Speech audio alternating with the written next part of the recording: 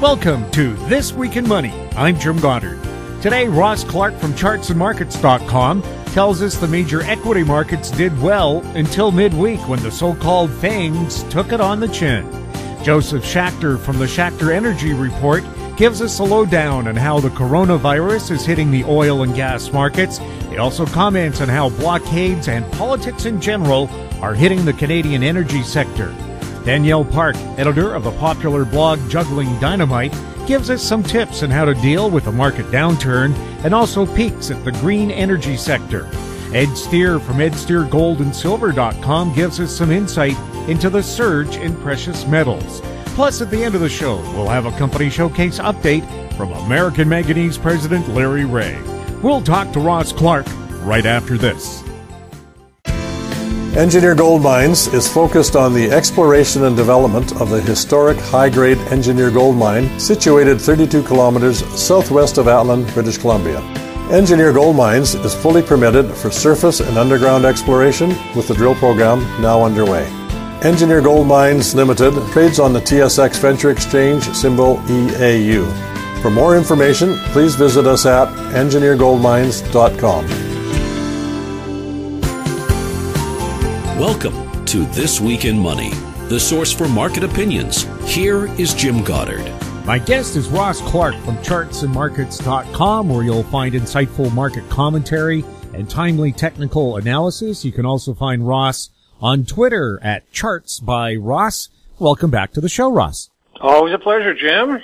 Ross, the equity markets set new highs midweek, but towards the end of the week, uh, things went a little off the rails by yeah, I got a little bit of a scare. What was it, uh, Wednesday or Thursday morning? The market sold off hard and bounced back. And then Friday, you know, you've got more talk about uh, coronaviruses in uh, in uh, South Korea, and you know, just um, now the the extension of on the ideas about how long it might take before this has run its course.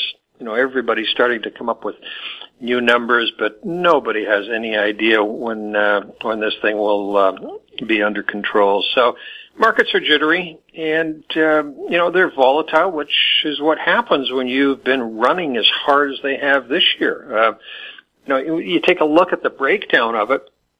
Uh, 40% of the S&P run uh, has been with uh, just the top 10 stocks in, in the index by capitalization. Um, then you take a look at, uh, you know, and so the S&P made new highs and is now just bouncing back uh, uh, the end of the week to kiss its breakout. Nasdaq has been clearly the leader. Um, it's it's only as of Friday, I guess, given back half of the run of the last two weeks. But if you look at the, you know, the Dow, uh, the transports, the Russell, they really haven't done much in this last three or four weeks. They, uh, the Dow eked out a marginally higher high and is now starting to work its way down towards support already. Um, the transports and the Russell failed to break out on the most recent rally, and they're looking looking pretty heavy. So, the uh, you know I'd be looking for the S and P probably to pull back to its 50-day average, and that's uh, and we'll see how it reacts from there. But until you've got uh, a good hard break and then a rally to a lower high, getting a failure in, I would say the uh, the S and P, um, you know, trend is still up, but it is uh, it's rolling a bit. It's looking tired, and uh, the money clearly has been moving to a couple of other places. And the number one and two out of that, and we talked about uh, this a week ago, um, gold market went through just a, a really nice triangular shaped consolidation uh, since the end of January. Um, gave back about uh, just a Fibonacci 38% of the rally off the November low, held well, came back and tested it again, and in this last uh, five or six days, has managed to tack on ninety dollars. Um, so not only a good breakout in U.S. dollars, but you know all-time highs as far as the against the euro, the Canadian dollar, the Japanese yen, and um, the pattern there looks good. Probably has uh, another couple of weeks left in this part of the run, so you might want to, you know, just uh, hold on to positions there. There's we had recommended fairly tight stops a week and a half ago I don't think there's any reason to raise the stops as of yet. And we've got a U.S. dollar that uh, has uh, a bit of a reversal at the end of the week, and uh, it, has been in this rising channel, uh, in particular since uh, I guess September of 2018, um, at about the same time uh, that the gold market bottomed out. So the two have been rallying together, but um, the the dollar seems to have turned over. the bond market, though, um, U.S. 10-year yields down to um, 1.47%. That's testing the lows of the last couple of years, which in that case are the, the lowest lows that we've seen in at least 60 or 70 years. So um, there's um, there's a lot of um, flight on terms of capital these days. Ross, thank you so much for uh, chatting with us. Yes, and we shall be with you a week from now. My guest has been Ross Clark from chartsandmarkets.com. Coming up, Josef Schachter next on This Week in Money. Always consult your investment professional before making any investment decision. Cypress Development Corp is developing a world class lithium resource in the heart of Clayton Valley, Nevada. The size of the resource makes the Clayton Valley project a premier asset with the potential to impact the future of lithium supply. Cypress Development Corp trades on the TSX Venture Exchange, symbol CYP, the OTCQB, symbol CYDVF, and on Frankfurt, symbol C1Z1. For more information, please visit our website, cypressdevelopmentcorp.com. This Week in Money is archived online at talkdigitalnetwork.com. Welcome back. My guest is Josef Schachter, founder of Schachter Energy Report online at schachterenergyreport.ca. He's speaking to us from Calgary. Welcome back to the show, Josef. My pleasure, Jim. Good to be with you. Is this COVID 19 coronavirus the black swan event everybody feared when it came to oil and gas? I think it's still too early to tell because you know we're, we're number one. It's expanded beyond China. Singapore uh, and Korea are facing you know significant bumps in China, Japan as well. So we're now you know 75, 76,000 cases, uh, 2,300 uh, fatalities. So the numbers just keep on going up.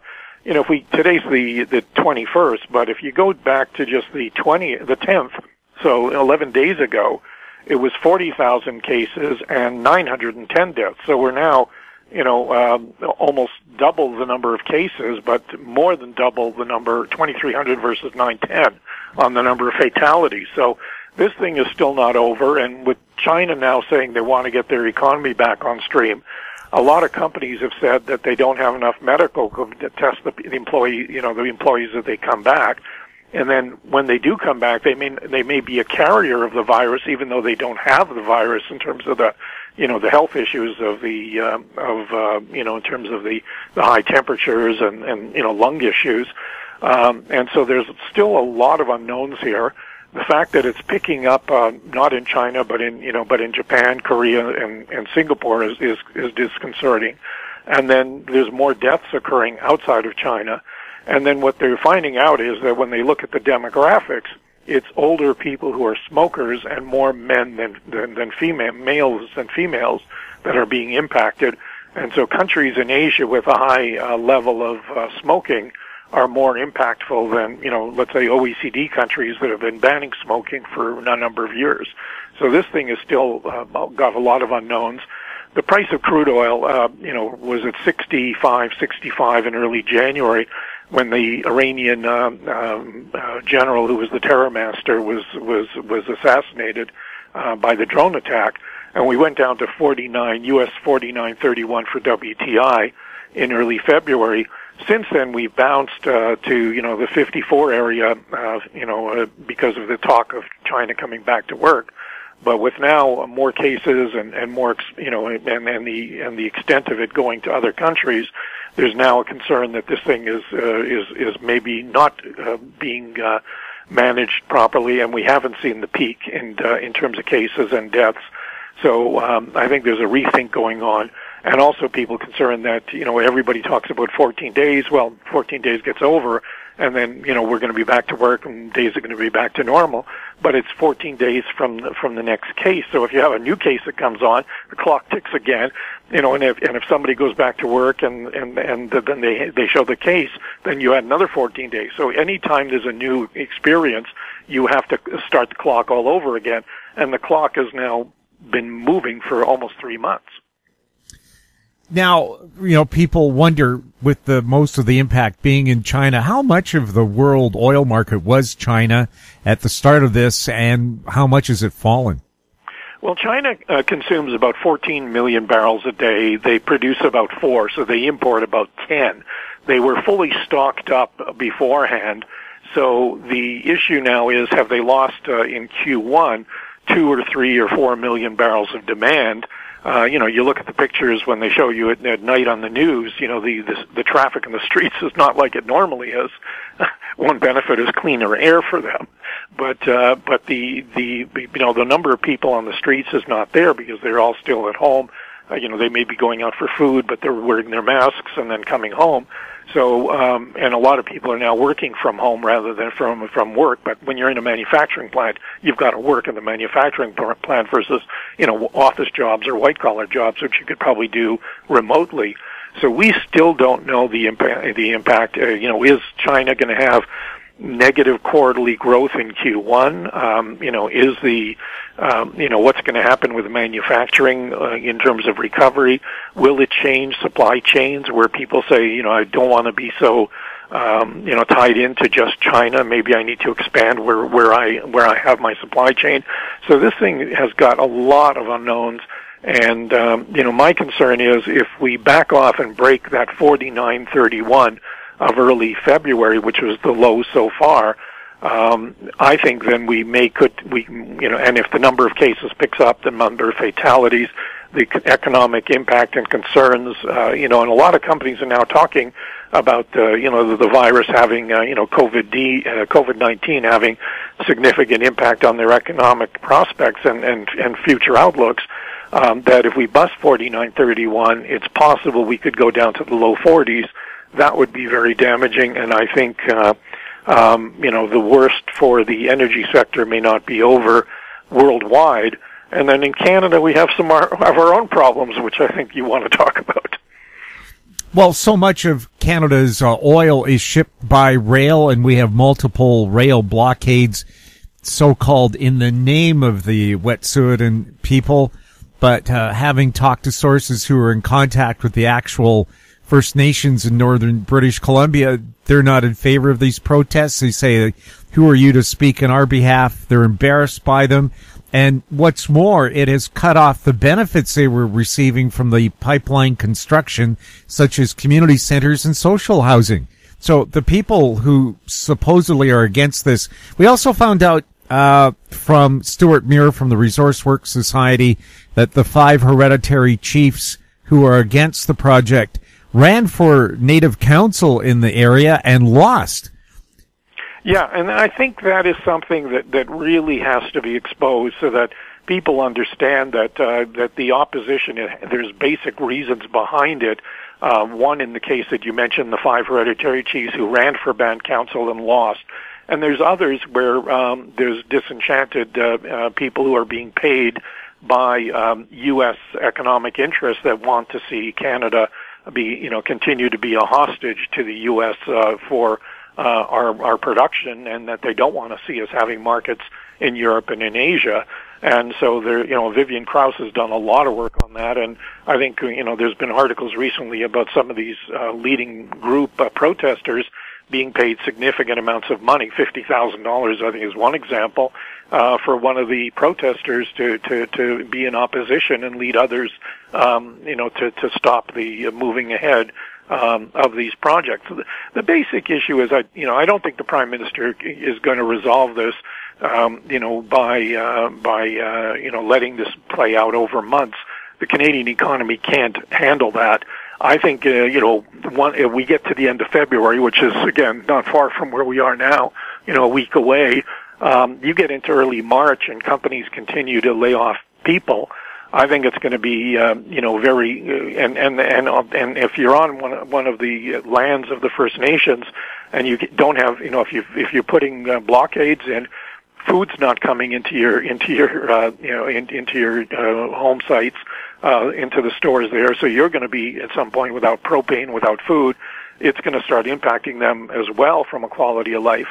But I think the Canadian government is going to have to, uh, you know, say that look, uh, let's go to the courts, let's get a, a, a ruling from the courts, and I think they have to go back to this whole issue of First Nations and how you know uh, how things are ruled and and uh, get uh, an agreement uh, you know sit down with the First Nations uh, both the hereditary and the elected and say look you guys have to have a system where um, you know the majority rules and that a small minority of uh, maybe non-elected uh, individuals do not have the right uh, you know there is no um, you know ace of spades if you're playing you know if you're playing spades that uh, you can trumpet and, and say uh, game over, and uh, you know you're not even a, a large percentage of the um, of the population of the of the First Nation. So I think at some point, you know, the the democratic requirements that we have as a nation here in Canada, where majority rules, uh, you know, you know, you know, you know, you have a riding, and the person who gets the most number of votes is in.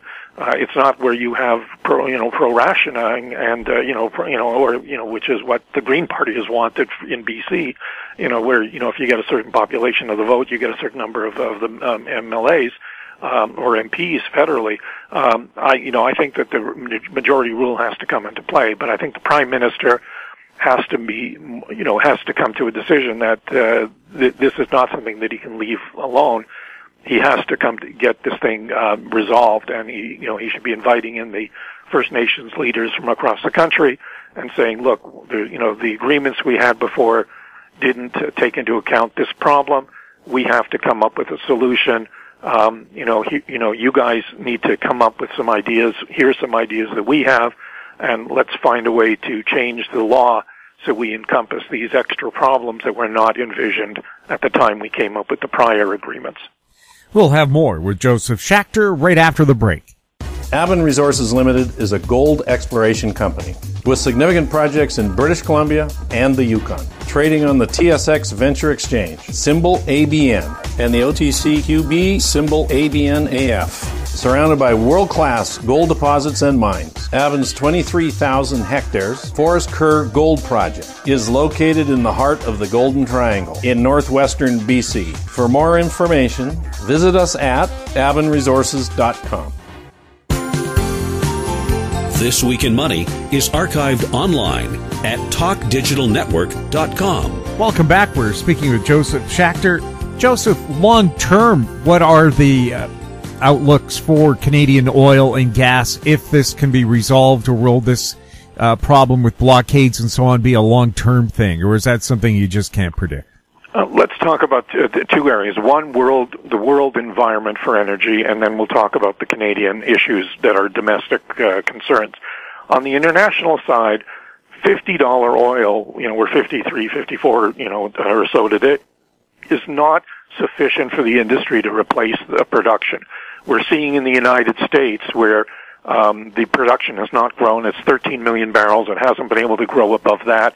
The shale numbers are, you know, the are are growing a little bit in the Permian, but four of the seven uh, shale play areas are not growing at all and are declining already. And we're seeing from the rig count that we're that we're seeing uh, declines in the rig count. Um, and so the amount, uh, you know, I think if you look at the rig count, um, you know, for the oil side in the United States, um, let me just see if I can pull that number up. The the for the for the oil side, um, the number of rigs declined in the states. Um, uh, this is last week Friday's data. Um, today's data I haven't seen yet. Um, the U.S. rig count is 790 rigs, down from 105.1 a year ago, down 25 percent and the number of oil well uh, rigs is down by 21%, and the number of rigs drilling for natural gas is down by 43%.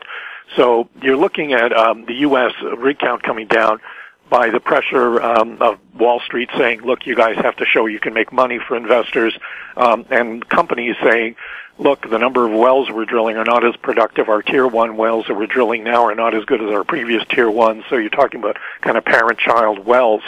So the worldwide side, um, U.S. is not going to be increasing production by a million barrels in 2020 as a, forecast. It may only be a couple hundred thousand at most. It may even be a decline if we have these lower prices that I think are possible. And then Saudi Arabia has changed its game plan. In the past, Saudi Arabia was a market share player and drove OPEC for market share. Now Saudi Arabia, because of Aramco, is now interested in much higher prices because they want Aramco stock to do well because over time they want to sell more shares of Aramco to diversify their economy. So Aramco uh, is, has been a game changer in terms of the world environment. And so we're going to see, by lack of capital investment and by restrictions by OPEC of production, and then not taking into account the problems of Libya and, and Venezuela, which are which are serious in, in their own right, that we're going to be probably be looking at higher commodity prices for crude oil in the second half of 2020, which will be beneficial to Can- Canadian companies as well as U.S. companies because of the lack of production and the fact that there's tight supply demand. Um, if the coronavirus, um, you know, COVID-D gets worse and extends into Q2 and Q3, that probably, you know, will be delayed. Uh, but it'll mean the industry will spend less money because, you know, they'll be having lower prices and they'll be even more curtailing uh, capex, which will you know exacerbate the situation when the uh, COVID-19 corona- coronavirus uh, gets under control. On terms of the Canadian side, um, we probably are not going to see much um, new. You know, the the TMX issue still has uh, problems with land access and, and in terms of the Lower Mainland and the Surrey area for the terminals. So even though the federal government has won the court case, they still need to get the land that they need, and that is still an issue that has to be resolved. Um, I think the LNG coastal gas line, you know, at the end will be resolved um, and will be built, maybe with some delay, but will be built. But the TMX uh, still has some very serious problems, and it's mainly the lower mainland where um, the you know the land issues uh, have to be resolved. And and are not easy to resolve, um, especially given the opposition in those in those um, in those markets. Now we've already had uh, high court rulings saying that local governments cannot overrule uh, federal jurisdiction, which is pipelines that cross provincial boundaries. How can they tie it up, or is it just uh, we can tie you up in procedural stuff like building permits? Well, uh, uh, it could be that from the government side, but the the other thing is, you know, you've got to go over land that could be, you know, BC Crown. It could be city land, so you've got to go through all the hurdles of, of forcing them to abide. I think the more difficult ones are going to be the individual landowners, where they need if they if the routing that they want to take requires expropriation of land that's owned by farmers or or even going through urban areas um, that could be very problematic. And um, and I, I don't know the answer to that. I just think it's going to take time, and it's going to require the courts to get involved. Uh, and it, you know that to me is really the disconcerting thing that. Uh, um, the land was not fully bought by TMX before, so that they can say we have the route, we have the land, and and now it's just we need a court ruling saying yes or no. And with the court ruling saying yes, then we would be moving forward. Uh, the fact is that, you know, and, and TMX says this, uh, that uh, we still do not have all the land we need, and that to me is problematic if it's not federal, provincial, or local, where the courts have ruled that that can be done and expropriated for the benefit of building the national pipeline owned by the federal government. Uh, another uh, choke point right now, a lot of crude oil is transported by rail cars, but there's a shortage of space on the railways. And uh, do they have enough tanker cars to really move as much oil as is demanded? Yeah, I think for the oil side, remember Eastern Canada imports a lot of oil from uh, by shipping uh, from from um, Saudi Arabia, Iraq, uh, you know, other countries, uh, uh, Colombia, etc. You know, are, are shipping there.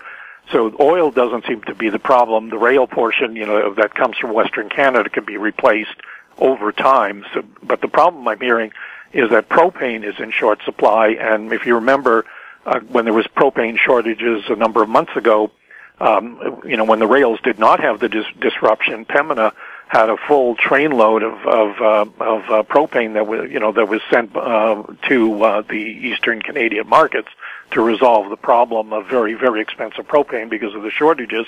Now with the um, with the problem where you have um, you know the rail strikes, um, that just makes it more problematic for product. Uh, where that can't be imported on the East Coast uh, as easily as you can crude oil for the refineries in, in, in, in Quebec and Ontario. Do you think uh, people in Quebec will come around to the point of view where uh, a pipeline from Western Canada would make a lot of sense? What What's interesting is, um, you know, the the debate right now about climate change right now only looks at the oil and gas industry. What see, and because of the CO2 emissions, what seems to be happening by the climate, um, you know, um, experts is that methanes are just as problematic as the CO2s are, and in some cases you could argue are even worse.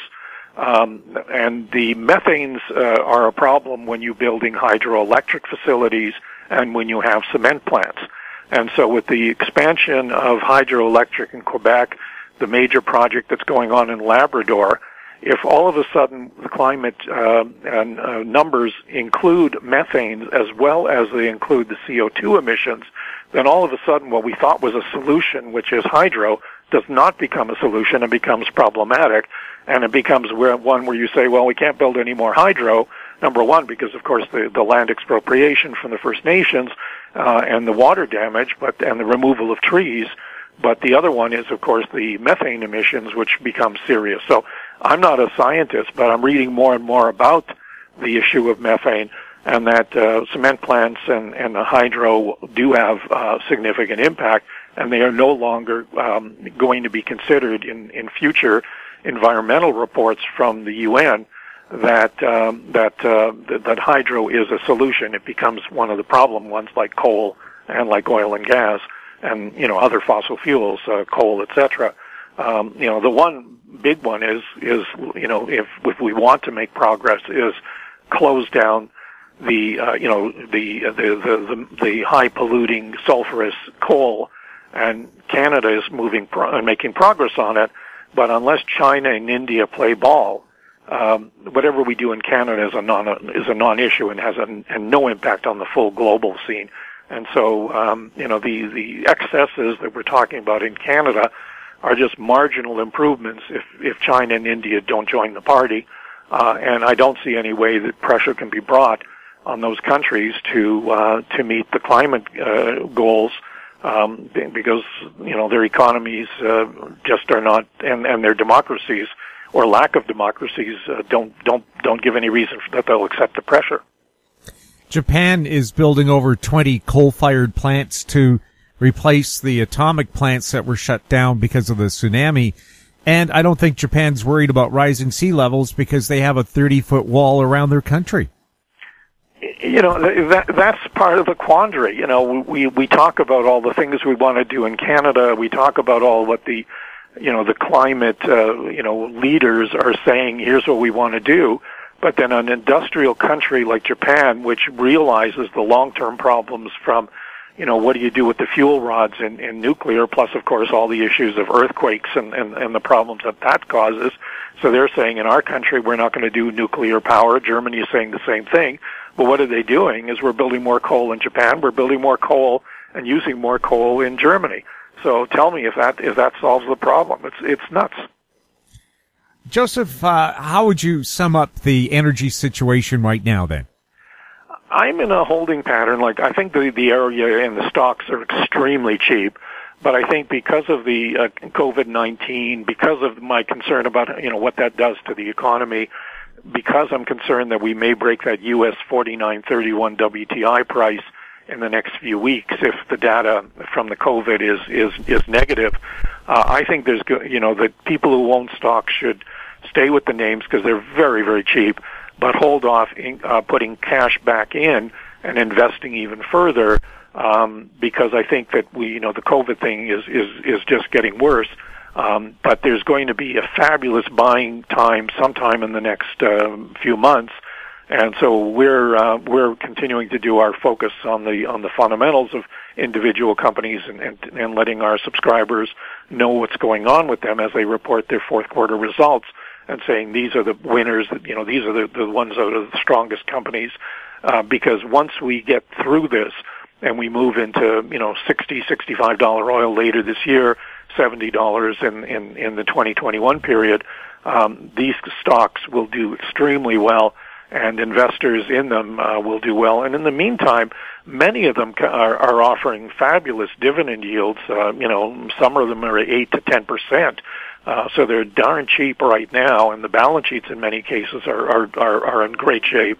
So the the key, the key thing is is that we're sitting, um, you know, with very very cheap stocks, but we don't have the catalyst to make them not be cheap, and that really is is the equation. We need to get uh, a little more clear sightedness on the economy uh, going forward worldwide we need to see a little more clearance on the, the coronavirus, uh, COVID-19, and that it's finally under control and there's a number of cases is, is declining and that uh, the recovery rates are there.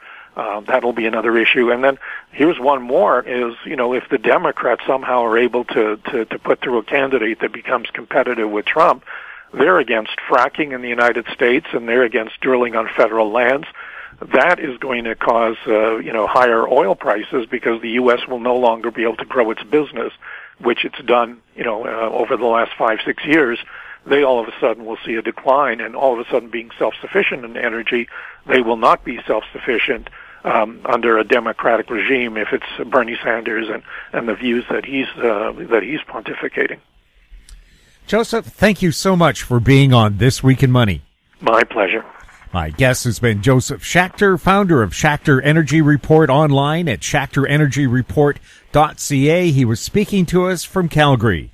Coming up, Danielle Park, next on This Week in Money. Media recognition from Bloomberg, Reuters, recycling trade publications, patented process for 100% recovery of critical metals, including cobalt, lithium, nickel, manganese, aluminum. American Manganese is focused on recycling lithium ion batteries for electric vehicles. American Manganese trades on the TSX Venture, AMY, the US, AMYZF, and Frankfurt 2AM. For more information, visit AmericanManganeseInc.com or phone me, Larry Reaugh, at 778 574 4444. This Week in Money is archived online at talkdigitalnetwork.com. My guest is Danielle Park, editor of the popular blog Juggling Dynamite and president of Venable Park Investment Counsel Incorporated. Welcome back to the show, Danielle. Thank you, Jim. Danielle, we're seeing uh, a lot of red boards and so many people saying the equity markets perhaps are in for uh, a correction, maybe a giant correction, which of course we would call a recession or depression. But what can a person do when you're in this kind of atmosphere where we're not really sure what's going to happen? Well, we're never sure what's going to happen. To be quite honest, any idea that we have certainty about things is farcical. But we do know probabilities of uh, certain patterns repeating when certain indicators have been confirmed many times throughout centuries of data. And, you know, certain indicators around, for example, the valuation of assets, has been historically quite reliable in terms of mean reversion over time. We don't know exactly when that will occur, but the further and further you get away from uh, sort of the long-term norms, the more likely it is to go through an abrupt reversal. And so, yes, this has been an unprecedented expansion um, because you know we've had 20 years now of a secular bear market where uh, asset prices began from all-time historic highs in 2000 in the tech bubble top. And then we had the collapse into 2002-3, which was a 78% loss in the tech sector. All the big names, Apple, you know, um, Microsoft, all the ones people widely held and overloved back then, just as they are today. Uh, they all persevered as business models. They all went on to be leaders over the next decade, but their collapse in stock price was still you know, in the 70 to 80% range. That's very typical when you get into this kind of disconnect between asset prices and the underlying actual earnings of companies and the underlying business cycle, the credit cycle, which drives the business cycle, and that's a global phenomenon. So what we do know is that this, you know, when the, when the uh, market started to wobble in 2012, 13, which was probably the natural sort of organic top that it would have come to in the aftermath of the 08 crisis and the collapse then that happened of more than 50% in asset prices at that point, you know, coming out of a, out of a low where markets had really at that point made nothing for 12 years. And that's typical in this environment. When the correction comes, it's like it sets you back to where prices were 12 years before that. Um, so, um, but when that happened, it sort of brought things back to fair value or long-term sort of normal value, not undervalued. We never got there in the last cycle because of all the interventions that took place, the central bank efforts. And then of course when they started the QE interventions in 2011, uh, 12, 13, then it was just relentless. Every time the stock market began to wobble or roll down, they, you know, funneled more cash in. And that's exactly what's happened in the last year as well. Um, when the sell-off took place in the last quarter of 2018, um, the central banks punched in a bunch more liquidity and we saw rallies through 2019, you know, extraordinarily strong recovery from the low in 18.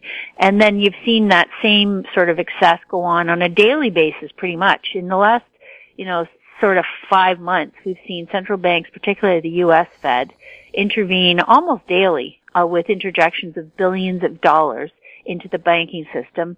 Um, again, primarily to float over-levered hedge funds and, inter- and financial intermediaries who have been borrowing money cheap and speculating in financial assets. So whenever they get a, a crunch where they can't get uh, more debt, where they are having funding problems, um, they are at risk of having to sell assets because they're highly levered. And once they begin to sell assets, of course, that drives down prices. So the Fed is so terror, terror, terrified of having uh, any actual correction happen in the markets that it continues to to dump cash in. Now this is obviously a finite exercise, albeit a very long running one that they've done, but it's not as if it's a it's a sustainable uh, business model over the long term. And in fact, the problem is that the markets have become so complacent, so uh, addicted, so overconfident that the Fed's placebo, and it is a placebo, it's not an actual cure for anything, it's just making people think that you know, that someone's got their back or that risk is no longer, uh, you know, um, a, a, a, thing they have to be worried about or that valuations no longer matter. I mean, we've got the, the, the lowest short interest on the S&P 500. That means the trading community is betting the least against a decline in the U.S. stock market of any time since 2007, the last time they were obscenely overconfident, overvalued, overlevered, and of course we know what happened then. So if you're looking at this in terms of what should an individual do, I say that an individual has to use the opportunity to take a really sober look at their own finances, to realize that we're in a casino style speculative mania today and that, you know, most of the people in the world are not doing well financially. The speculators, the people who have, you know, got use of free money from the Fed to trade, which is something that, you know, this category of trading is certainly not investing. It's typically either front running things on a short term window with algorithms or it's you know, just taking obscene amounts of risk and hoping that you don't blow up before you're able to cash out. Well, this is not actually an investment strategy that anyone in the real world can undergo and they're trying to manage their own financial resources to meet their own timeline. It's also not a strategy that pensions can even successfully use because if, if, if you've noticed, even in the last you know, longest recovery now, the last decade where asset prices have been continually pushed up, we still have these massive deficits and liabilities in pension plans and other critical, you know, institutions all over the world. And this is before this next bear market comes. So um, it's going to get worse, right? There's no chance that these asset prices are going to levitate indefinitely at these record highs, uh, which have only been surpassed, if, if at all, once in human history, which was in the tech wreck top of 2000. Um, you know, if you look at things like the U.S. market cap to U.S. GDP as an example, we're at the same high as we were in 2000 when things crashed, uh, you know, violently thereafter for a couple of years. Um, and even if we look at global market, you know, sometimes people think, well, I could certainly I could own, you know, stocks or corporate debt in other countries. Um, but even if you look at that, this has been such a, a worldwide epidemic of of risk taking and leverage that global market cap to global GDP is basically very close to the peak it was in 2000 and 2008 as well. So these are very formidable tops that one should pay attention to. You know, as I've said many times, boomers today are, the bulk of them are already into their, what they assumed would be their retirement years. Many have arrived there with much less money than they needed, and that was a function of not saving enough and also taking too much risk through the last 20 years where they've repeatedly blown up and then spent years trying to grow back their losses. And they've done that again this cycle. Um, so you have to be sort of very practical in the sense that you don't have another, you know, if you're already into your 50s, 60s, 70s, you don't have another 12 to 14 years to wait for prices to come back once they mean revert again. And we've set up, you know, I mean, if you look at anyone who's been doing this a long time, more than just uh, this cycle or traders or, you know, um, very young, fresh-faced peoples that populate the financial media, uh, typically have not much cyclical experience. And if you look at of the people that have been around a long time. Just Warren Buffett as one example. He currently has the, at Berkshire Hathaway they have 122 billion dollars in cash.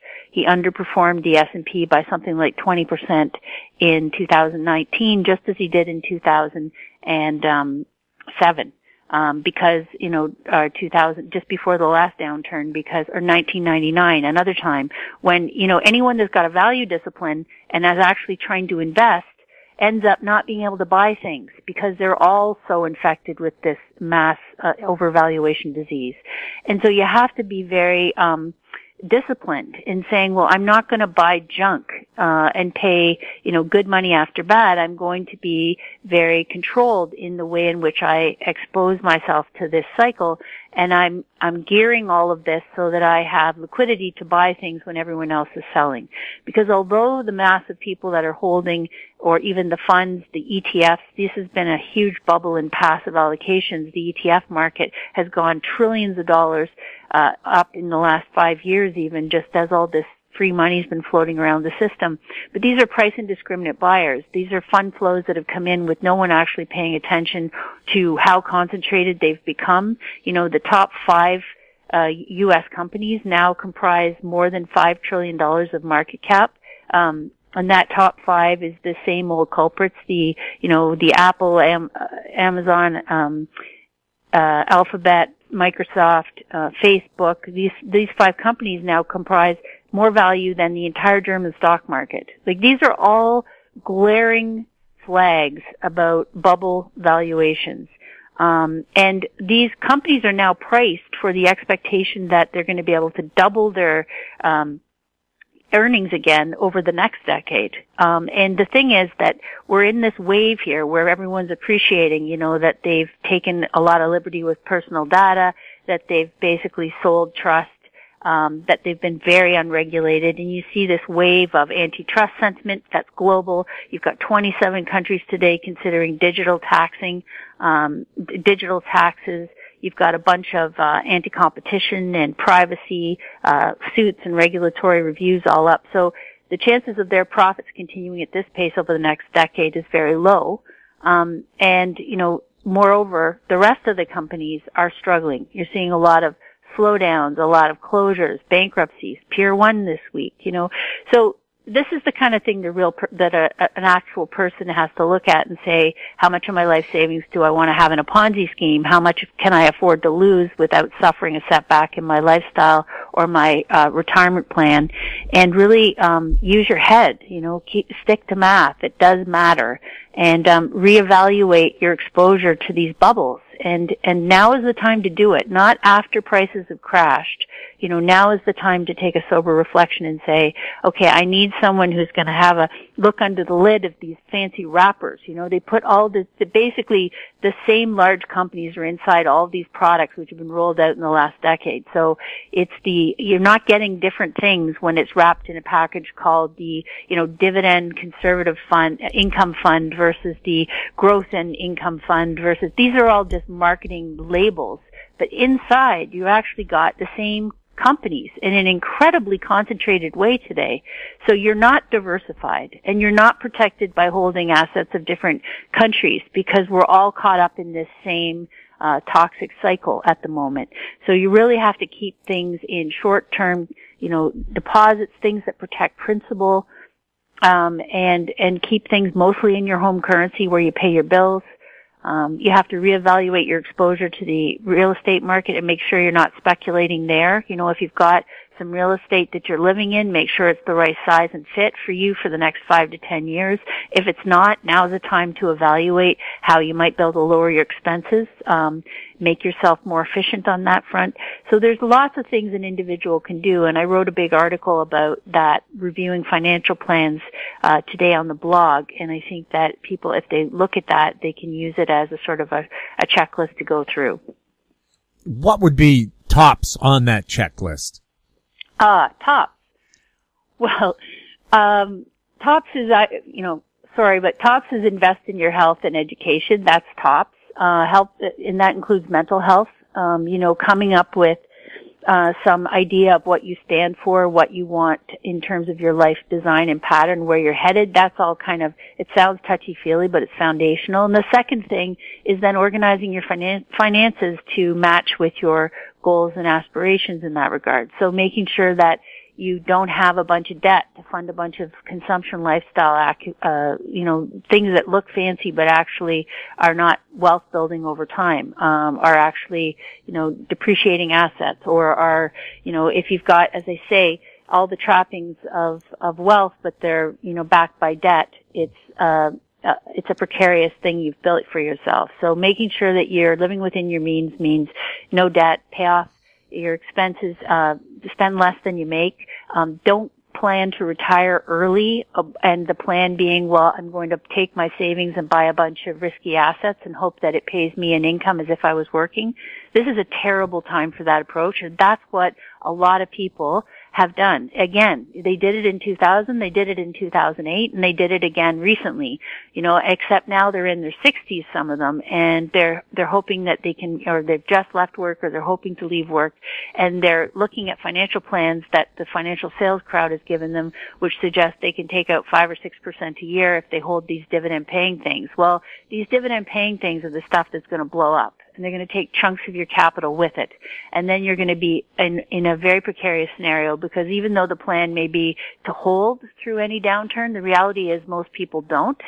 Uh, psychologically, emotionally, they don't. And also, it's very difficult to withdraw income from funds once they've dropped in value a lot. It's very psychologically challenging. Um, and people all tend to sell after they've lost money. And then they're really set back, right? Then they're years and years away from the goals that they had. So that would be really, it would be, I think that would be the, the first few things one needs to look at. Danielle, green energy, of course, is the trends that so many people are telling us about. What are some of the latest things that are happening uh, to get us away from fossil fuels?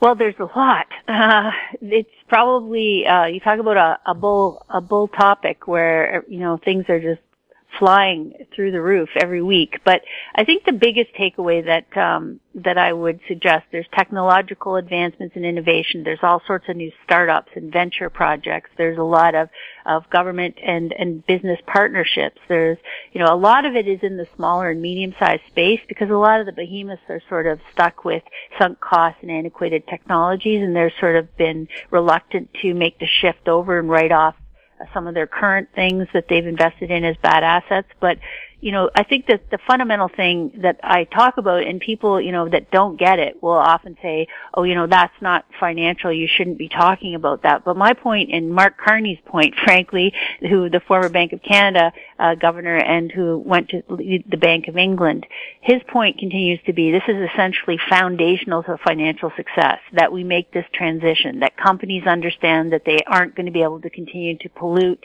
and um, emit and, you know, have all these waste products and not um, have to uh, discount that or take that into account in their expense structure going forward. So in other words, they've got away with, you know, producing all these uh, harmful byproducts and leaving that on the public purse or not having it priced at all and just you know, considering their, their cash flow profits. And we're in this environment where everything's having to be repriced. We've got a carbon tax, for example, in Canada. That's not going away. That's going to have to increase because it's drastically low relative to what it needs to be for accurate market pricing of that emission. So that's just one area, but, you know, um, packaging pollution is another area where we're having more and more rules come in to reconnect the producer with the aftermath or having to take responsibility for their waste. So those are going to function as a cost that's going to be added in. Um, so it's it's all about you know looking at the reality of this and realizing that you know, we're going to be in an entirely different world uh, over the next 10 years. And the transition is happening a lot faster than people think. And there's a massive upfront investment required. And the whole structure is about we have to get more efficient. We have to get more efficient with our resource utilization. That's the driving force behind this is actually financial. Yes, environmentally it's really important because people are getting very sick from, uh, you know, the emissions of, for example, tailpipe emissions. There was a, a study done uh, out of uh, UBC uh, that was just published on the connection between dementia and Parkinson's disease and emissions uh, proximity and where you live close to highways, as an example. So there's all kinds of, 50% of the asthma cases in Canada are connected to, you know, the air pollution, air quality issues.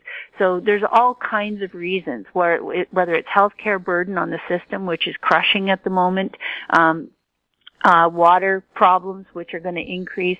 So all of these things have to take into account. It's a new way of measuring success, frankly, is not just in terms of how many drugs you're selling, which has been the old model, uh, but how many, you know, how healthy the, the population is and what costs we're averting.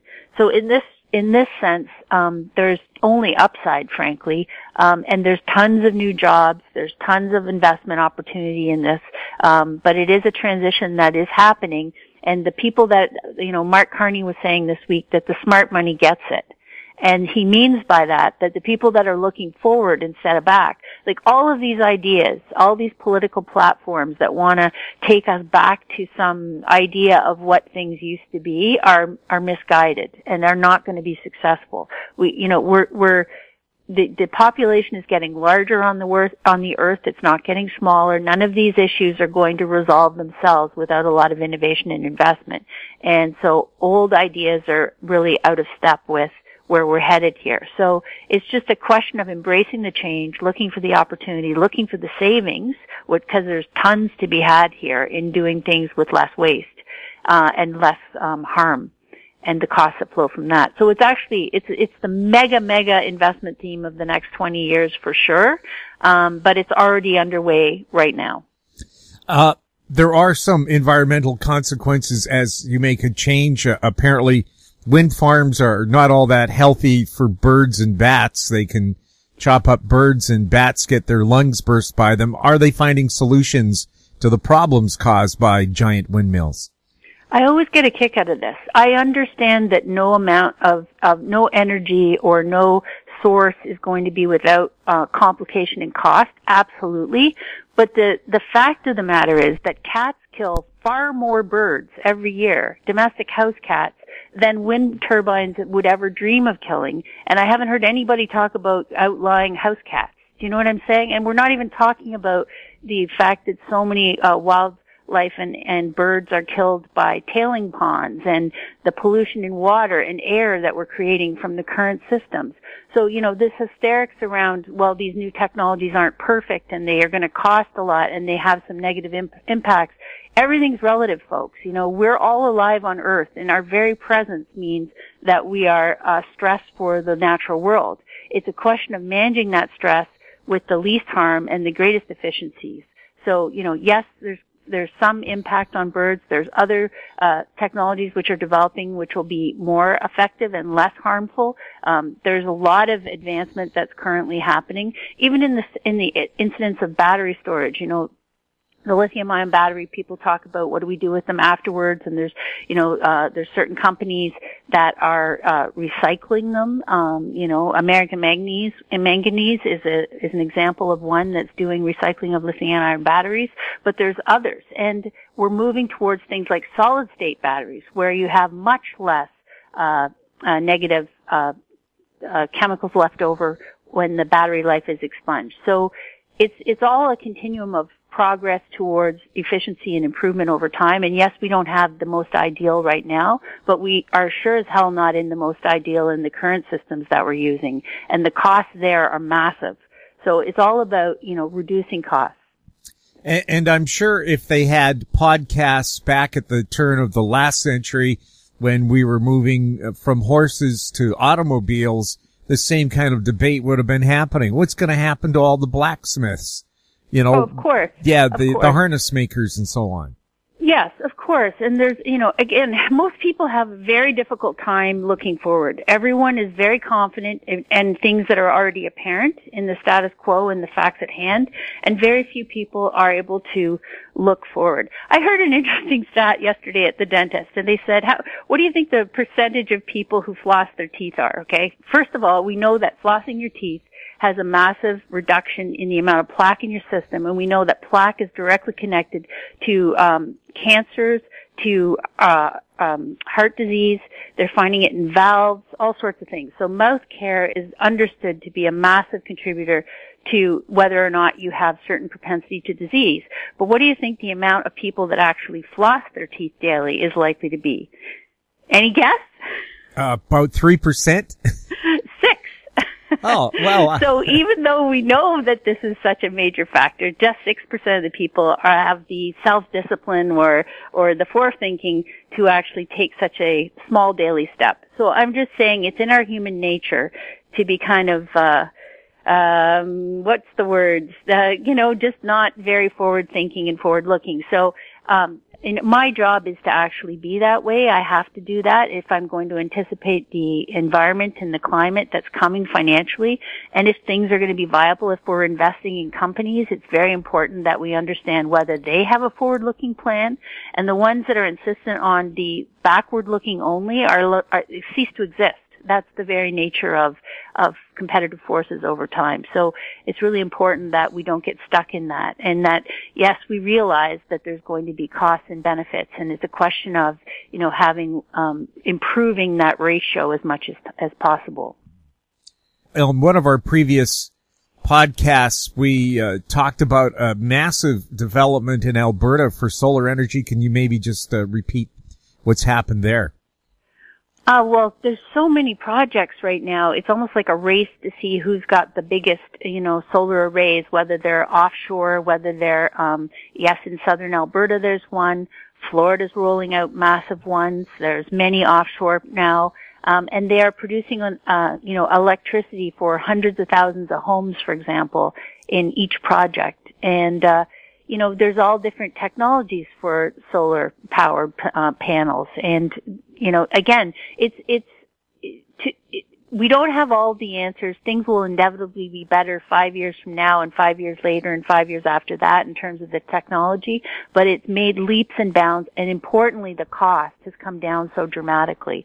So that is uh, something that will be very helpful because as we go into this phase now where we're not adding just, where you can't just continue to add more and more debt uh, and more and more financial speculation and expect that to solve problems. I mean, look at this whole you know, the coronavirus just reminds us the vulnerability of the human population and how susceptible we can be to the spread of things like viruses and what a shock that can be, how that can impact the world economy, which it is right now, right? But we already had a turn down in, in the world's growth over the past couple of years. The, the rate of growth has been much slower over the last decade than it was in any of the prior decades. You know, so the, the whole global supply tra- chain um, revenue flow has been in a downtrend well before we had the, the virus outbreak. So the topic I've been speaking about is the importance of not wasting and utilizing our resources so that we get the best value for the least output in this in, this in these conditions because when you have less cash flow and you've already got a lot of debt service in the world you have less you know, um, to, to direct to other things.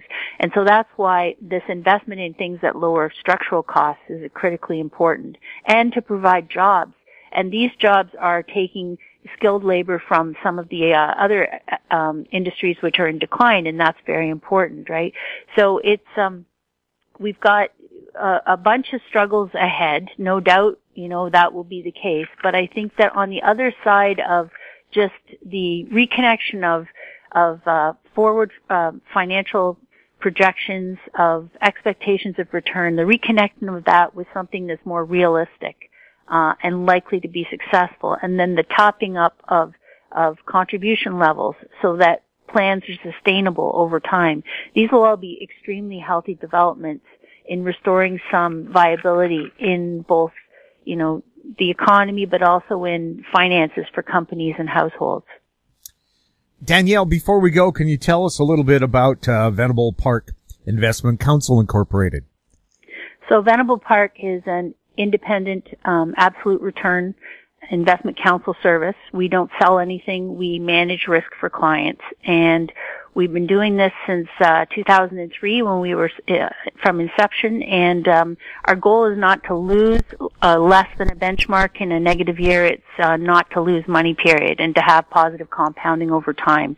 So it's quite a different approach to the, you know, mainstream, which is you try and race up with indexes and then race you race down with them and you end up you know with lots of activity and little progress. Ours is really about trying to preserve principal manage plans so that they actually turn out the way people hoped and um, that they have a, a financial plan that that matches their their life plan. Thank you so much for being on the show danielle. Thanks jim. My guest has been danielle park editor of the popular blog juggling dynamite and president of Venable Park Investment Counsel Incorporated. Coming up, Ed Steer next on This Week in Money. Don't miss out. Stay informed. Receive the HoweStreet.com weekly recap with thought provoking podcasts, radio, and articles delivered to your inbox. Sign up for the HoweStreet.com weekly recap on our homepage at HoweStreet.com. This Week in Money is archived online at talkdigitalnetwork.com. Welcome back. My guest is Ed Steer, founder of EdSteerGoldandSilver.com and a director of GATA, the Gold Antitrust Action Committee. He's speaking to us from Merritt, British Columbia. Ed, welcome back to This Week in Money. Uh, hi, Jim. Uh, thanks for having me on and greetings to all your listeners. Ed, it looks like we had a, a pretty exciting two weeks for the price of gold, almost a hundred dollars higher. Well, it certainly has been exciting. There's no question about that. Uh, you know, uh, the smart money out there and the big money knows that uh, the Federal Reserve and uh, all the central banks of the world have to keep printing money, or the stock markets are going to crash and burn. And they've also got to keep uh, interest rates in line and the yield curve uh, uh, on a positive slope. And uh, they're all realizing now that we're we're basically it's print or die mode, and uh, they're piling in, and the prices that's being re- certainly being reflected in the price uh, the last two weeks, and especially today. Are the rises in gold and silver connected with uh, seasonalities? Um, I'll, I'll tell you what. Right now, this is all uh, this is all flight to quality. Right now, um, there's no there's no seasonality involved in this at all. Right now, this is just uh, a flight from paper assets to hard assets, and seasonality does not play is not playing a factor in this this at all at the moment. It's uh, it's all people running from paper to to physical. Mm-hmm.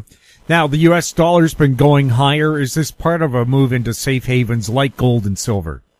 Well, you know, the uh, as myself and other people have been saying, you know, the U.S. dollar is just basically the cleanest dirty shirt in the laundry basket, and uh, it's been going higher as a sort of quote unquote flight to quality as well. Um, as I've been pointing out in my column the last few days, the uh, U.S. dollar is hugely overbought and today we had a bit of a correction. So um, I expect that if we uh, see uh, the dollar uh, continue to decline, gold prices will certainly uh, rise uh, along with that. So uh, is the U.S. dollar a flight to quality? I'll leave that up to you and your listeners to judge, but to me, it certainly isn't. The Canadian dollar is still hanging around 75 cents while the Australian dollar has really taken a beating because it's a resource based uh, currency. How come the Canadian dollar hasn't followed suit? Well, uh, there's there's no question that all all currencies are taking a beating against the U.S. dollar. Uh, the Canadian dollar is, uh, you know, we, we have our oil that we export, and uh, you know, Australia is heavy into iron ore and other other um, industrial commodities. So they've been they've been hurt even more because they ship directly to China. And uh, when China's down and out like they are right now, they're going to get hit harder than we are. Uh, so uh, until the price of oil or commodity starts to improve, uh, the uh, the prices, uh, the values of the uh, so-called commodity producing nations are going to continue to languish in the toilet. What are the latest commitment of traders numbers for gold and silver? the numbers just came out about uh, an hour ago, and we're now at a new record high short posi- commercial net short position in gold. It's uh, it's right off the charts. Uh, right now, the uh, the commercial traders are short 38.6 million ounces of gold uh, in in the COMEX futures market, which, like I said, is a new record high. And uh, the silver numbers were up way up there as well. It's not a new record for them, but it's still a horrendously high number. Um, and as I was talking to silver analyst Ted Butler on the phone about half an hour ago, and he says the CFTC should be drawn and quartered for allowing the market to get this outrageous. But uh, no, we're we're at nosebleed levels in both silver and gold for a commercial net short position.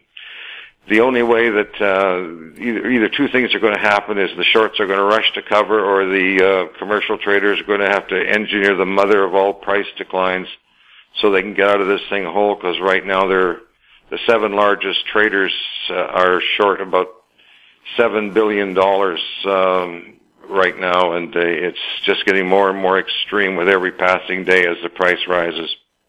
What's happening in physical versus paper gold and silver? Well, the, the paper market, the, the physical gold market and the physical silver market, if you're looking at, um, you know, the retail market, there is no retail market right now. The, um, the retail market is way down from what it, what it was, um, last year. I know the U.S. mint sales are terrible. The Australian mint sales are doing better. Canada's doing okay. You know, the, the, the central banks of the world are still buying gold, uh, but they're not buying as much as they used to. I noticed that uh, Russia's central bank only added 200,000 ounces of gold to their reserves in um, in January, which and that report just came out yesterday. So the physical market is is is relatively okay, but what you're seeing right now as the price rises is a is a flight to quality, and the gold and uh, is acting more like a currency now than it is a um, a physical commodity. How are the HUI and XAU indexes looking? Well, I'll tell you what, you know, if, if you take a look at them, you know, we're at a new record high price for gold, 1600 since what, 2011. And the stocks, uh, whether they be the uh, gold equities or the silver equities, certainly haven't kept up to the, um, to the new, these new price highs at all. Uh, they're really languishing in the basement. They're certainly higher, of course but they're not as high as they should be compared to where they were, say, when the prices were the, you know, this high like 10 years ago or so. Um, right now we're in an equity market bubble. We're in an everything bubble, as everybody knows, and uh, most of the people that are chasing stocks right now are chasing stocks in the general equity markets, like the uh, the Dow and the Nikkei and uh, everything else that's going up right now. Uh, but once that psychology psychology changes, you'll see um, people back into the precious metals market in a big way. But right now, they are underperforming. That's for sure. What indicators for gold and silver would signal a longer-term bull run? Well, you're looking at it right now. I mean, uh, this, everybody out there knows the central banks are in a print or die mode in order to keep interest rates down and the stock market's levitated and the smart money is now starting to vote with um, by going into the precious metals, and uh, these are the these are long term indicators are here right now. There's no question that uh, the flight to quality is is on and is on in earnest, and it's going to get even more and more dramatic as time passes. Uh, you know, as I mentioned before, you know, you know, price of gold is going up and the price of silver is rising, but like, a, and the commercial net short positions are getting larger and larger. And despite the fact that for this rush to quality, if these commercial shorts decide that they're going to rig prices lower so they can get out of the short positions, we're going to see a big, big decline in the price of gold and the price of silver as they attempt to get out of their short positions. But if the prices do decline, that's the only reason because, like I said before, the price, the flight to quality is definitely on, and if the prices do go down, this will be a buying opportunity extraordinaire because I think it'll be the last time the prices uh, decline. Uh, Ted Butler, whose work I follow closely, says that uh, if they're able to get out of, if the commercials are able to get out of this hole or mostly whole, it will be the last uh, engineered price decline we see before prices skyrocket.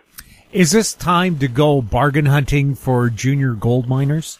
Oh, absolutely. There's no question about it. Uh, you know, before the thundering hordes show up, and they will at some point, um, this is the time to buy. Actually, the time to buy was like a year ago. That was when the, the uh, equities were really in the in the basement.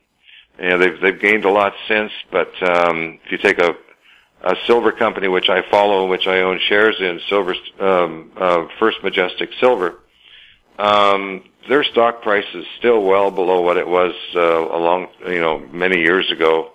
And all the precious metal equities out there, especially the juniors and the intermediate producers, are the bargains of a lifetime. And we'll look back at them two or three years from now and say, "Boy, I wish I'd bought more at the time." So, if you're ever thinking of getting into the market or adding to your positions, uh, this would be the time. Ed, what's new with the Gold Antitrust Action Committee? Well, you know, you know, GATA's been around what now for 20 years, and we've been preaching the message at you know at various gold conferences uh, over the years, whether it be Vancouver or New Orleans or Toronto. Um, and there's not a single solitary soul out there that doesn't know that the prices of the precious metals are being actively managed and have been for the last couple of generations. And uh, so, you know, GATA's message has been successful but uh, nobody wants to talk about it. The miners don't want to talk about it, and the um, you know most of the pundits that uh, you know gold so-called gold analysts out there don't want to talk about it. Um, but you know the fact is that the message that GATA has been giving out, and that silver analyst Ted Butler and others have been giving out over the years, you know, is sunk home. Everybody knows what's going on. And as far as GATA is concerned, I know that uh, you know you know, Chris, Bill, and myself, we're all doing interviews like this one. I know that Chris is going to Singapore and Hong Kong next month if it isn't canceled because of the uh, coronavirus. And he's going to be speaking at precious metal conferences there. So and we're still very, very active out there and putting out the message, but you know, everybody knows the message whether they care to admit it or not. Ed, how can people find out more about your newsletter? Well, if they're interested, they can uh, just Google my name, Ed Steer, S-T-E-E-R, and my website will come up, and they can go to my sample column page, and they can read the uh, they can read the offering that they get. I have five columns a week, about two hundred and sixty dollar, uh, two hundred and sixty columns a year, and the freight is U.S. one hundred dollars uh, if they're interested. Ed, thank you so much for being on This Week in Money. My pleasure, and uh, good afternoon to you, sir. My guest has been Ed Steer, founder of EdSteerGoldandSilver.com. He's also a director of GATA, the Gold Antitrust Action Committee. He was speaking to us from Merritt, BC. Our conversation took place on Friday, February 21st. And that wraps up our show for this week. We'd like to thank our guests, Ross Clark, Josef Schachter, Danielle Park, and Ed Steer. And thank you for listening. If you have any questions for our guests, you can send them to info at howestreet.com. Now stand by for a company showcase update from American Manganese CEO Larry Reaugh. I'm Jim Goddard.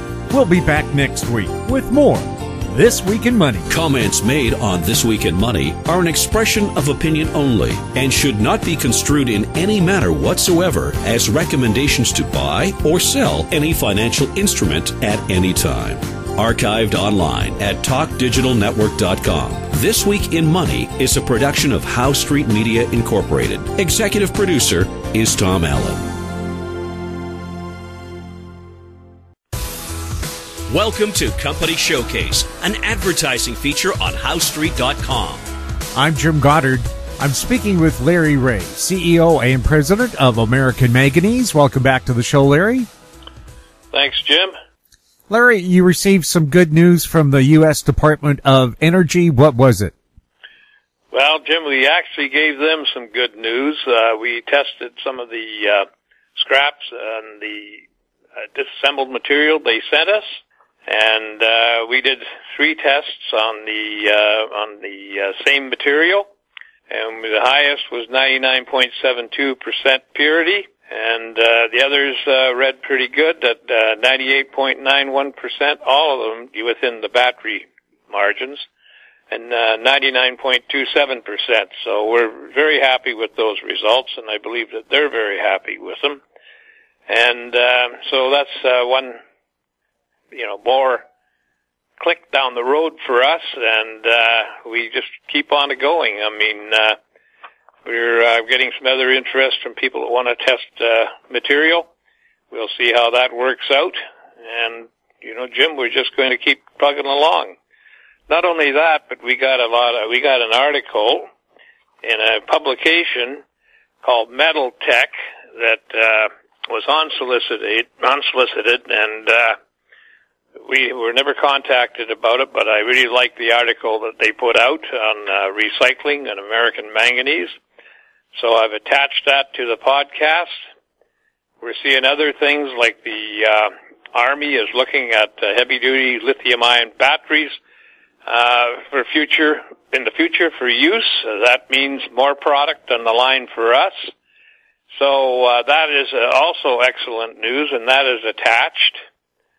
And we also have a uh, attached a the conference results uh, from the uh, from the uh, roundtable that uh, was involved in from uh, fully charged, and that was in the waste management publication. So we're getting lots of news out there. And what does that mean? We have a lot of exposure. We have a lot of exposure out there. We have interest from all over the world. Uh, in the uh, company's technology, I see the stock is starting to look like it wants to go. And so I, if I'm an investor, I'll certainly keep my eye on that. I think we've reached the uh, turning point where recycling is now becoming uh, a big part of the news and uh, has a lot of popularity out there. So we've got uh, patents and and again, I've said this a thousand times, those patents are the most important thing the company owns. We've completed pilot te- plant testing and we've de-risked the project significantly. And, uh, you know, it's, uh, it's got to make the shareholders happy and I hope we're going to get a reward this year sooner than later. So, uh, you know, it's, uh, I'm excited. It's, you know, it's, uh, it's hard to keep my thoughts together. They're flying all over the place, but, we're uh, we're totally happy with what's happening out there. Everybody's enthusiastic in here. Uh, everybody's putting their shoulder to the wheel. We have a very small staff, and uh, you know that's uh, puts a lot of work on individuals within the within the uh, organization. But it's all good. I mean, the days fly by, and uh, you know, before you know it, it's Friday again, Jim, and here we are talking. So the results uh, certainly uh, helped the helped the market along. They uh, obviously they liked the news release. Uh, we uh, we're always going to have to deal with uh, predator trading. I know people don't like me to hear me say that, but it just happens to be very true. And uh, but you know there will come a time when uh, they pull back their horns and uh, the stock will uh, eventually run up, and I expect that sooner than later. So you know we're going to uh, we're just going to keep pushing on the uh, on the envelope here, and I think everybody will have a good listen and a good uh, read on some of the attachments that we have. And uh, you know, I've explained that the news release was uh, taken from the one product and uh, three different tests. So uh, you know, we in doing somebody else's work from work that they have uh, done on recycling, uh, or actually I should say not recycling, but uh, preparing the product, uh, such as shredding or whatever, whichever way they do, has its own set of problems going in. And so that's why it takes time sometimes to do some of these uh, test works that we're doing for tier one companies or the DOE. And, uh, you know, it's, it's not in our control. We have to handle what we get. And, uh, but, you know, that will, uh, sooner or later, we will get them to uh, actually get down to a size that we can deal with in a very uh, efficient way. And uh, so it's uh, it it takes a little time. There's uh, everybody wants timelines. Uh, is all I can tell you is there's going to be continuous work going on. I hope to be able to uh, talk more about that at a future date. But uh, anything that I talk about has to be in a press release. So uh, we just have to uh, grin and bear the fact that I'm putting out, uh, you know, 52 podcasts a year and 30 or, or at least 40 um, news releases a year. I don't see many other companies doing that. So it's not that uh, our base isn't informed.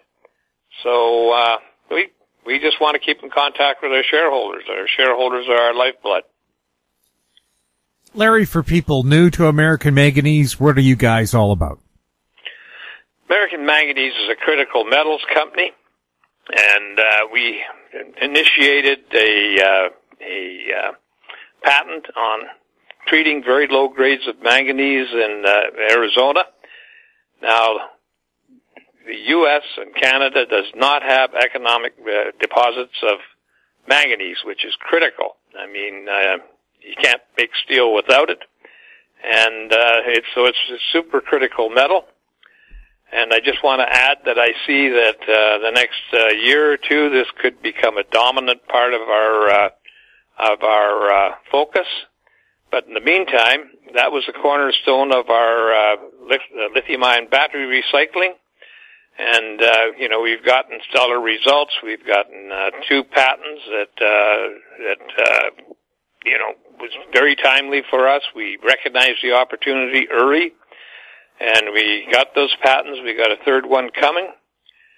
Uh, the company uh, trades on the Toronto Venture Exchange under the symbol AMY. We trade on the U.S. under the symbol A1YZF, and we trade in Frankfurt under the symbol 2AM. We have a very informative uh, website out there called AmericanManganeseInc.com, and you can contact the company by email uh, L Reaugh R L R E A U G H at A M Y M N dot com, or phone the company at seven seven eight five seven four four four four four. Larry, thank you so much for the update. You're welcome, Jim. I've been speaking with Larry Reaugh, CEO and President of American Manganese. I'm Jim Goddard. Our conversation took place on February 21st. Comments made on Company Showcase are an expression of opinion only and should not be construed in any manner whatsoever as recommendations to buy or sell any financial instrument at any time. Archived online at HoweStreet.com. Company Showcase is a production of Howe Street Media Incorporated.